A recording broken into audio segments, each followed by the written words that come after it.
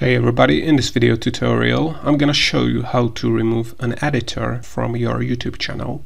Alright, so if you want to remove an editor from a YouTube channel, you can do that in YouTube Studio. So first open up YouTube Studio, so go to studio.youtube.com, sign in into your YouTube channel account, then keep in mind that you have to be at least the manager or the owner of the YouTube channel to remove an editor from the YouTube channel.